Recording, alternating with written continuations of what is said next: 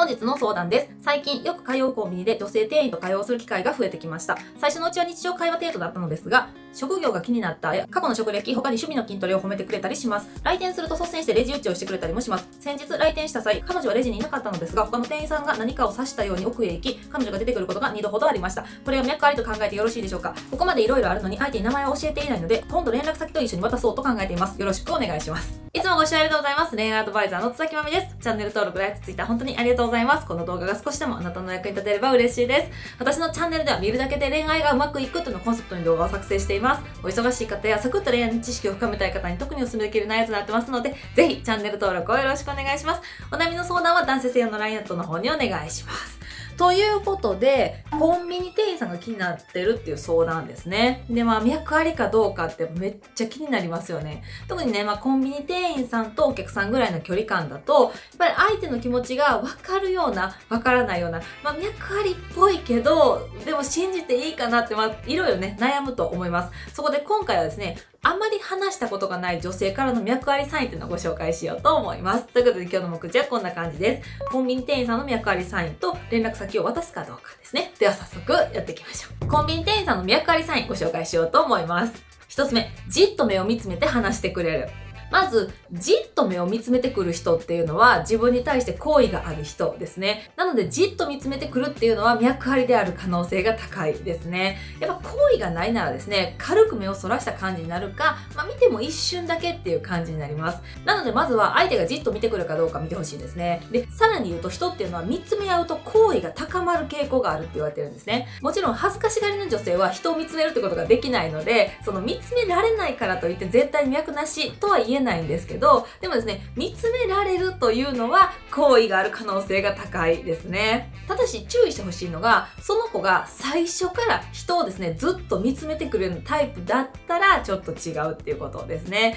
接客態度とか本人の癖、あとはまあ親のしつけなどでですね、人をじっと見るってことが習慣になってる方っていうのもいます。だからお店に通い始めた頃と比べて自分のことをじっと見つめてくる機会っていうのが増えてきたように感じるなら脈ありの可能性が高いです。そして2つ目、相手から話しかけてくる。脈なしの相手に対して女性って特にわざわざ自分から話しかけたりしないんですね。もちろん接客業なので無視とかはしないですけど、最低限の関わりに留めてくるはずなんですね。それが自分から話しかけてくるっていうのはその時点でかなり親しみを感じている証拠です。あとね、ちょっとチェックしてほしいのが、レジ以外でも話しかけてくるかどうかですね。相手が商品を整理している時に、まあ、たまたま偶然みたいなのを装って、こう近くを通り過ぎる。それで話しかけてくるかどうかとか、レジであえて会話をせずにですね、普通に買ってみて、で、相手がね、積極的に話しかけてくるかどうかっていうのをちょっとテストしていただきたいと思います。そして3つ目、他のお客さんと態度が違うかどうか。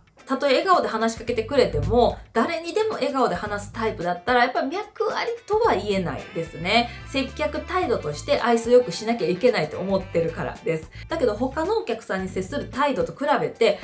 明らかにですね、違うなって思う場合は、好意ありとか脈ありだって言えます。なので、その店員さんが他のお客さんにどのように接しているか見てほしいんですね。自分には親しげに話しかけてくれるんだけど、他のお客さんに対しては、まあ一般的な接客業だったらするだろうなっていう態度を崩さないっていう場合は、かなり脈ありの可能性が高いです。そして4つ目、覚えてるアピールをしてくる。コンビニってめちゃくちゃお客さん来るじゃないですか。だからですね、正直一人一人の好みとか毎日買うものって、なかなかですね、まあ、よっぽど記憶力に自信がある方じゃない限り、覚えてないんですね。そもそも覚える必要がないですしね。それがあなたがレジに行った時に、これいつも買ってますよね、好きなんですかとか、あるいはお店に行った時に、あ、こんにちはとかですね、こう親しげに自分はあなたのことを覚えてますよっていうアピールをしてくるっていう場合は、逆ありの可能性が高いです。では次ですね、連絡先を渡すかどうかなんですね。まあ、今回の場合はかなり手応えを感じてらっしゃるっていうことがですね、まあ、文面からすごく伝わってきますし、私も渡してもいい状況かなと思うんですけど、ただ、レジをしている最中に渡すっていうのはちょっと微妙かなって思います。なので渡し方としては、彼女の仕事終わりに、まあ、偶然、こう店の前でですね、ばったり出会ったという演出をして、で、そこでちょっと話をしてみるっていうのがいいかなと思います。これなんでかっていうと、万が一ね、その、好意は抱いているけれど、まだ恋心まで育ってないっていう可能性もあるので、やっぱちょっとその可能性がね、否定できないうちは、あんまりですね、大胆な行動ってしない方がいいかなって思います。それよりは段階を踏んでった方がいいかなと思ってて、なのでですね、まずまあ偶然を装って店の前でばったり会うですね、彼女の仕事終わりがいいでしょう。仕事始まる前はさすがにですね、向こうも焦ってるのでゆっくり話できないので、仕事終わりを狙ってもらって、そこで少し話をしましょう。で、そこでもですね、かなり時間を取ってくれて、こうゆっくり話をしてくれるっていう場合は連絡先を渡してもいいでしょう。やっぱりですね、仕事終わりってみんな疲れてますよね。で、そういうプライベートな時間ですね、どうでもいい人と長話をするっていう人はやっぱりいないんですよ。だから仕事終わりの彼女に対してちょっと話しかけてみて、で、彼女がですね、なかなか帰ろうとしないとか、プライベートの話っていうのをどんどんしてくる。それいいですねとか、私も行ってみたいみたいな、デート誘ってよみたいなニュアンスを言ってくるとかっていう場合は、かなり脈ありの可能性が高いので、連絡先を渡しても OK です。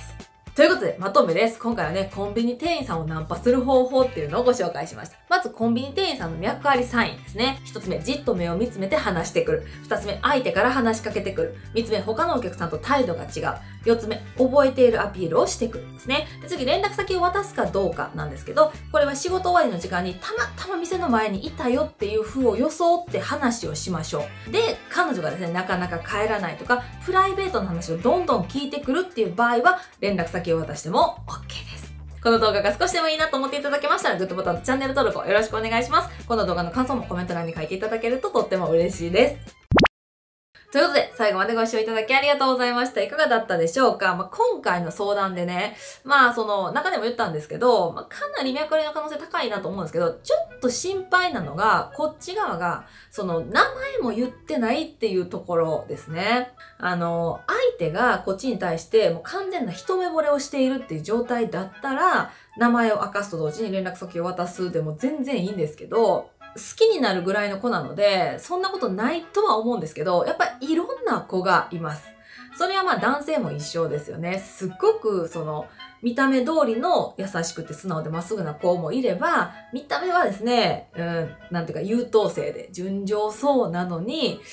うん、ちょっと悪いことを考えてる子とか、自分の利益しか考えてない子っていうのももちろんいますよね。なので、なんかの営業とか、まあ、勧誘っていう可能性も捨てきれないです。だからですね、あのー、自分が、やっぱりこう、いつ連絡先を交換するかっていうのも大事なんですけど、でも本当にこの子信用できるかなっていうのを、やっぱもう少し仲良くなってから、こう、名前とかを明かしてですね、もう少しこう、あのー、深い話ができるようになってから連絡先渡すでも全然いいのかなって思いますね。その子が本当に信頼できるかどうかを、自分の身を守るっていうのも大事なので、まあ自分のね、直感を信じるのも大事だけど、やっぱリスクは考えとかなきゃいけないかなと思ったので、うん、もうちょっと仲良くなってから連絡先でも、そのちょっとじらしを入れた方が、まあこっちに優位に持っていけるっていう部分もあるし、焦って連絡先渡すより、まあ、もう少し距離詰めてからの方がいいかなと思いました。よかったらね、参考にしていただけたらと思います。ということで最後までご視聴いただきありがとうございました。また次の動画でお会いしましょう。バイバイ